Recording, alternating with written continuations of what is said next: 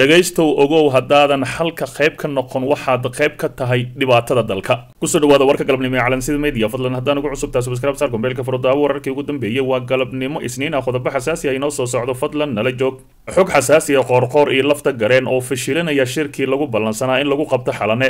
Sidoo kale dowladda soomaaliya ayaa keentay tallaalka cudurka caabuqa sagaal iyo toban. Dacwadda badda oo mar dhow live ka soo gali doonto warbaahinada caalamka iyo sidoo kale websayteka gaarka ah ee maxkamadda adduunka. Fadlan nala joog oo daawo wararkii ugu dambeeyey ila wareedyo muhiim ah oo lagu kalsoon yahay ayaa warbaahinta u sheegay in madaxweynaha maamul goboleedka galmudug iyo koonfur galbeed ay diidan yihiin shirka la qorsheeyey inuu ka dhaco magaalada muqdisho gaar ahaan xerada xalane kaas oo looga hadli doono muranka la xiriira doorashooyinka soomaaliya. Saraakiil ka tirsan dowladda soomaaliya iyo maamulada koonfur galbeed iyo galmudug ayaa sheegay in ilaa iyo hadda ay qorqori lafta gareen ku maqan yihiin. Dalka turkiga islamarkaasina aysan qorshaha ugu jirin in ay soo baxaan dhowaan si ay uga qayb galaan shirka muhiimka ah ee looga hadlaya doorashooyinka soomaaliya calansida media ayaa horey u sheegtay in farmaajo uu ku amray in labadaasi halkaas iska joogaan islamarkaasina shirkaasi sidaasi uu ku fashilmo. Sidoo kale afhayeenka galmudug oo b b c da la hadla ayaa sheegay in dalka uu dowlad leeyahay islamarkaasina dad shisheeye ahi. Aysan soomaaliya dhadhaxaad ka noqon karin taasoo ula joodo in shirka xalano ku habboonayn oo ku habboon yahay filla soomaaliya. Weli ma go'aansan inaan imaano haddii ay dhacdana waxaan qaadan doonaa wakhti si ay noo sugaan inta aan sugu jirnay saciidan iyo axmed madoobe ayuu yidhi mid ka mid ahi saraakiisha ku dhow dhow qoorqoor. Cabdicasiis xasan maxamed laftagaren iyo axmed cabdikaariyo qoorqoor muddo ka badan toban maalmooda ayay ku sugan yihiin dalkaasi turkiga iyadoo ay xusid mudan tahay in ay ahaayeen madaxdii ugu horreysay ee iska xaadirin jirtay goobaha lagu qabanayo shirarka doorashooyinka dalka. Sidoo kale wararka ka soo kordhaya shirka lagu ballansan yahay muqdisho oo caqabad horleh laga soo sheegay shirka loo ballansan yahay in muqdisho uu ku dhex maro dowladda soomaaliya dowlad goboleedyadii gobolka banaadir ayaa caqabado hor leh halkaasi soo wajahay. Walaacaasi ayaa yimid kadib markii jubbaland iyo puntland ay shuruud ku xireen bilaabista shirka oo ay ugu muhiimsan tahay in filla soomaaliya joojiso amarku taagleynta iyo awoodda ay wax ku raadinayso islamarkaasina shirka xalana lagu qabto. James iswam oo ah wakiilka qaramada midoobay ayaa dhexda u xiranaya in xalana la iskugu yimaado shirka iyo in xal laga gaaro hanaanka doorashooyinka dalka.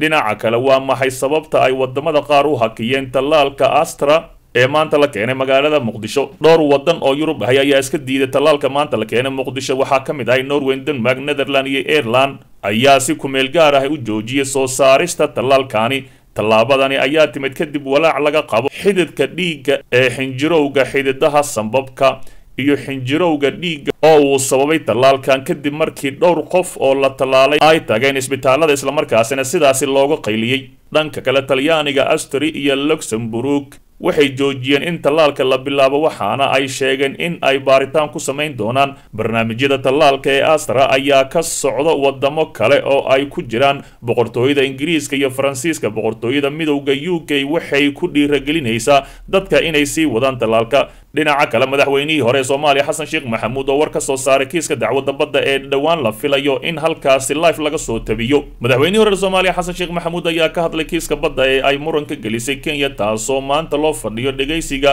wuxuuna soomaalida ku booriyey in loo midoobo qadiyadaasi. Xasan sheekh maxamuud ayaa lagu tilmaamaa inuu yahay qof kaalin mug leh ka qaatay kiisaskani islamarkaasina xukuumaddiisa ay tahay midii ugu horreysay ee kiiskani geysay maxkamadda cadaaladda i c j guul ayaan u rajaynayaa kooxda difaaca baddeenna waxaan ku baaqayaa in aan garab istaagno innaga oo meel iska dhigayna waxyaabaha kale ee lagu kala aragti duwan yahay ayuu facebookiisa ku soo qoray madaxweynihii hore ee soomaaliya xasan sheekh maxamuud. Fadlan dib u daaw wararkeenii hore ee calansida media.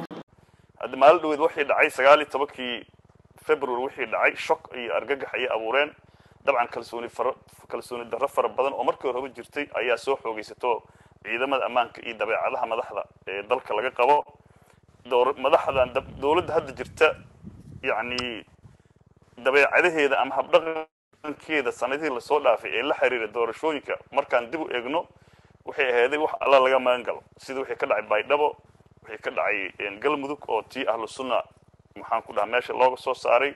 Tii ugu dambeysay oo ii sheegeen sagaal iyo tobanka february oo si nabada iyadoo lagu mudaaharaadayo marnaba ay hor istaagtay mudaaharaadkii taasu micnaheedu tahay constitutionalkii political rights dadku u lahaa civil rightskii ayaa la hor istaagay. Marka haddii dadkii ay cabsi ka qabaan ciidamadii ama ay kalsooni dowladii ka qaban dabcan qof walba inuu ammaankiisa ilaashado oo isprotect karo is ilaaliyo duruufta ayaa ku kalifaysa. Laakiin mar haddii environmentiga ama political toxiga ah ama sumaysan ama khilaafku ragaadiyey ama yacni kacsan la dejiyo oo kalsooni la dhiso macquul ma ahan in sideedaba sida la sheegay seefo laba yani gal seef laba seefo mada wada gasho. Ammaanka dawladda ka mas'uula isteedadaa ka mas'uula mucaarad ammaankiisa suganaayo ma jiro. Haddiiba jiraayo mucaarad ammaankiisa suganaayo inaan doorasho la qaban ayaa ka fiican oo la wada hadlo oo meesha dareenka jira laga saaro.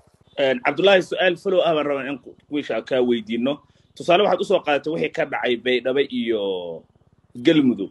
Waxaas waxay ahaayeen soomaaliya doorashada intaan la gaarin wax dhacay maya labadaba horta doorashada khalalaasa beri election wax la yidhahdo iyo post election.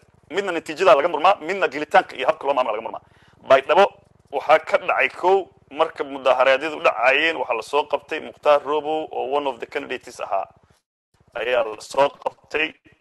Kadib waxaa ka dhacay kacdoon dad baa ku dhintay khalalaasaa ka dhacay.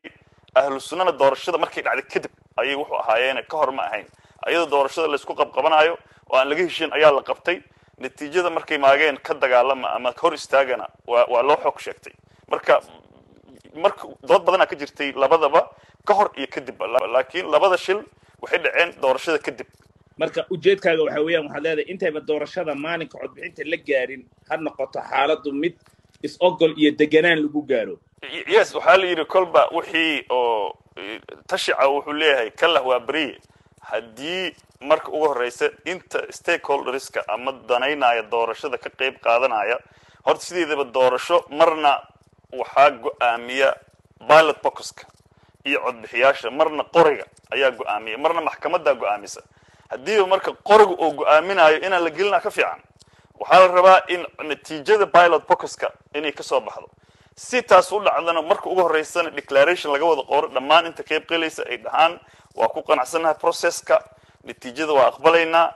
Haddii dulduleele iyo madow ka soo baxana dibi oygis iyo islaxisaan niyad same ku jirto loo wada joogo ayaa ayaa la samaynayaa.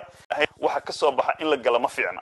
Waxaa roon political crisisku inuu socdo laga wada hadlo laga heshiiyo kadibna ayadoo lais ogyahay doorashada la aado. Markaa ku jira dadkeen iyo waxaasna wax ka jira lama arko. Waa in meeshii rabo lagu mudaaharaadi karo qodob waaye qodobka kaleetana waxay tahay waa in ciidamada madaxdooda hadeertaan khaasatan kuwii xadgudubka galay ama amrada qayb ka ahaa ilaa hadda ciidamadu talaa leeyihiin sagaal iyo tobankii february ama waa inay public public apology baxshaan public declaration sameeyaan ay saxiixaan inaysan siyaasadda iyo electionka qayb ka ahayn keliya ammaanka qaranka ay ka shaqaynayaan ama hadday suurtagal tahay in laga qaado xilka oo ama la suspend gareeyo haddii aan yani cawaaqib aysan ka dhalan tallaabooyinka qaldan iyo danuubta iyo gafafka la galaayo micnaheedu waxay tahay ii sheegeen maxaa dhihi jiray lamacanaataana caanihi daash. Yani qof wax loo qabsanayo ma jiraan.